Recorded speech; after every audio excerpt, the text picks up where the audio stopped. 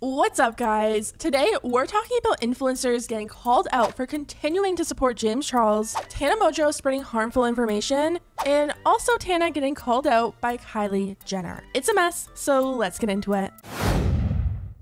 So let's start off with James Charles.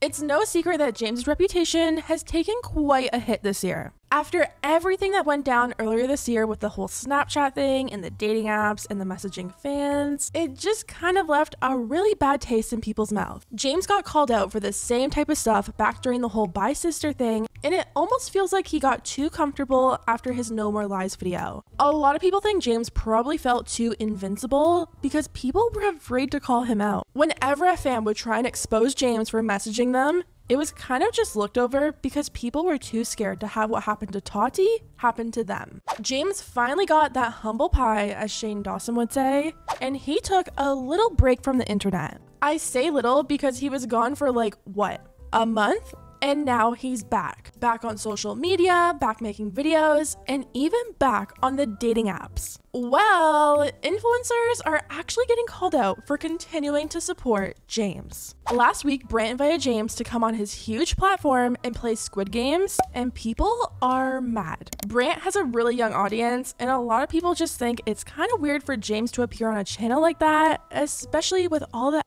against him. Even people in the comments are calling it out, writing, I didn't know we were collabing with now. Stop giving James a platform. He literally admitted to the behaviors people accused him of. This is really disappointing. James trying to play off the fact that he got cancelled. Even Ethan called out all the creators from that video that are still choosing to support James. He posted a video to his highlights channel titled James is being enabled. Ethan said he really doesn't get why all these big creators are still choosing to collab with him. He said it's sick that they don't care what James did and still want to be associated with him. You don't care that this guy's a on on Snapchat?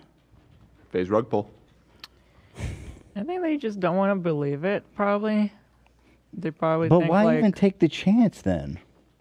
They believe it. How do you not believe it? It's all there. He admitted. know. He said, "I did it." Sister. he says, "I did it." I don't know. Let's see. I'm not collaborating with him. But Brent isn't the only influencer still publicly supporting James. Manny MUA is wearing and promoting James's new merch, and he holds a very public relationship with James. A lot of people think it's actually kind of hypocritical, especially because Manny now has a drama podcast where he talks about influencers like the Ace family, but he won't bring up James. I get it, when you have a friendship with someone, it's really hard to actually talk about them, but people just think the public support is kind of strange. Jaclyn Hill is another influencer still publicly supporting James. Last week, Jaclyn dropped her new business venture, a jewelry line called Jaclyn Roxanne. And she sent PR boxes to quite a few influencers. One of those influencers was James Charles. Ah, look at the package that just came in. Jaclyn's new jewelry line called Jaclyn Roxanne. Congratulations, these pieces are so beautiful. Oh my god. It's just so weird. Jaclyn doesn't need James to advertise her products for them to sell. So why send your brand new line that you're trying to obviously make a good impression with and get people to buy to James Charles, of all people? It just does not make any sense to me. Moving on, we need to talk about Miss Tana Mojo. Tana is once again getting called out for a ton of shit this week. Shocking, I know. Tana is getting called out for spreading misinformation about Gabby Petito and Brian Laundrie. I think this case really exposed so many new people to true crime. It got international news coverage. Gabby's family has really pushed the media to give all missing people the same treatment, and because of social media, Gabby was found and able to be returned to her family. Social media can have a really positive impact on cases like this. But sometimes it can also have a really negative side to it. I think when a case gets so huge, sometimes it's easy to like sensationalize it in your head, and it starts to feel like it's more of a true crime show than an actual real person with real families that are watching this all unfold. That's why people are so upset with Tana right now. After Brian Laundrie's remains were discovered, Tana got on her TikTok and pretty much started spreading really harmful and easily disproved conspiracy theories. And I'm not talking about harmless questions that I'm sure we all have right now. I'm talking about misinformation that could have been easily cleared up with just one Google search.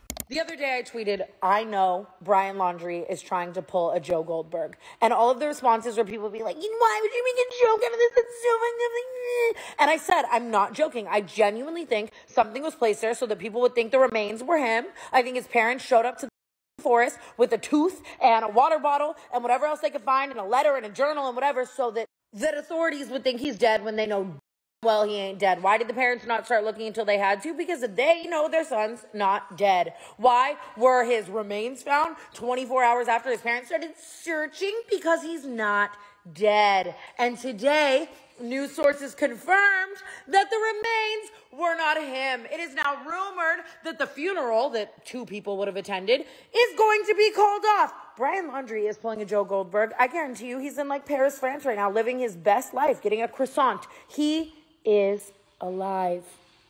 And that's the tea. And as you guys can guess, a lot of people weren't too happy with Tana's TikTok. This isn't true, babe. We shouldn't be spreading disinformation like this. Tana, they literally did not say it wasn't him. Inconclusive results is for cause of death, not person that's dead. Y'all, please do your own research. This is nowhere near correct. Look, I know we're all super invested in this case, but at the end of the day, this is a real family that's on social media and might even come across stuff like this. It's bad enough that real justice of Brian sitting in a jail cell isn't possible anymore. But to put it into people's heads that there's still a possibility that he's out there when it's literally not true is gross, especially by someone with such a huge platform.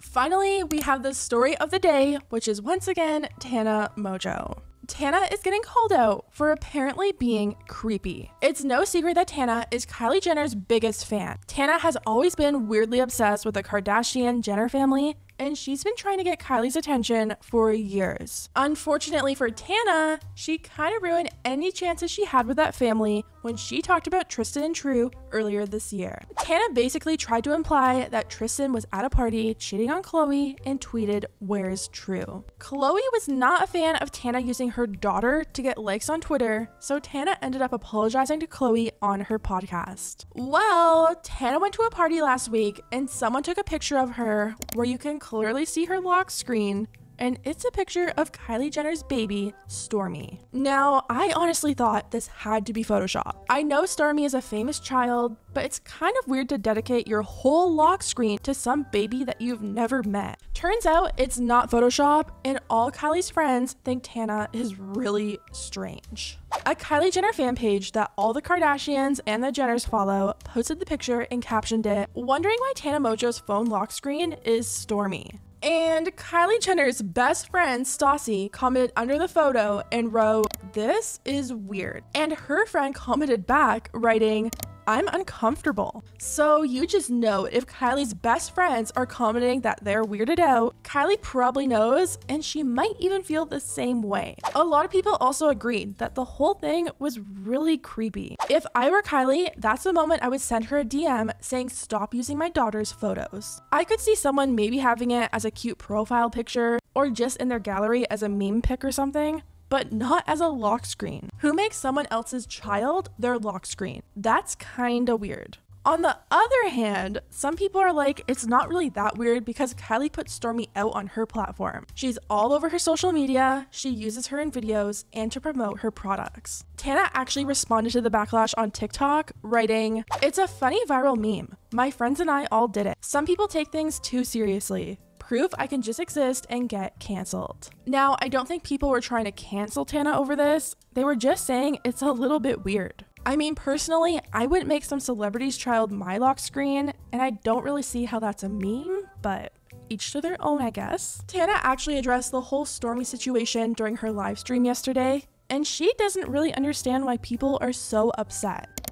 Everyone's tripping over my lock screen. And it's so weird because it's like, like she's the most famous public icon. It's the cutest one. It makes it just like made all of us happy. So like a bunch of us just like, you know, made it our lock screen, and then everyone's like, "That's so weird," and I'm like, "But if you think about a child like that, like that, that's so weird.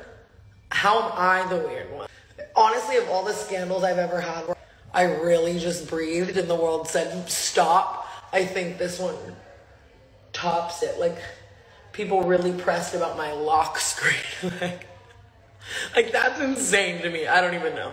Anyways, guys, what do you think about all this? Do you think it's creepy that Tana has Stormi as her lock screen? Or do you think she's just some huge Kylie Jenner fan and you really don't see the harm in it? Anyways, guys, let me know what you think about everything down below. If you liked the video, hit the thumbs up button because it really does help my channel, and I'll see you next time.